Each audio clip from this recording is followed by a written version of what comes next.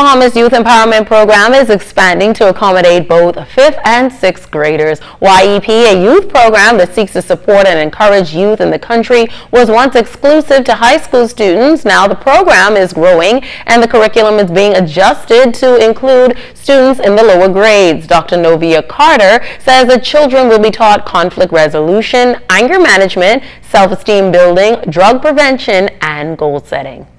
Our hope now is to create a junior arm that's going to feed into our larger program and once again create a village of more positive young people committed to creating a better Bahamas.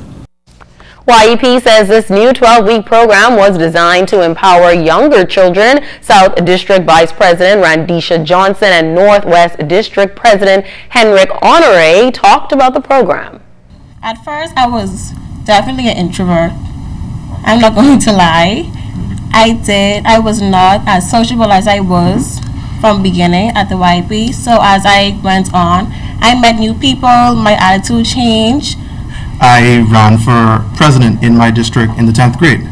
But I did not get president, but instead I got vice president. So I was quite happy because I've never actually ran for office or become, or actually just just actually run for anything, honestly. So it was sort of an honor to me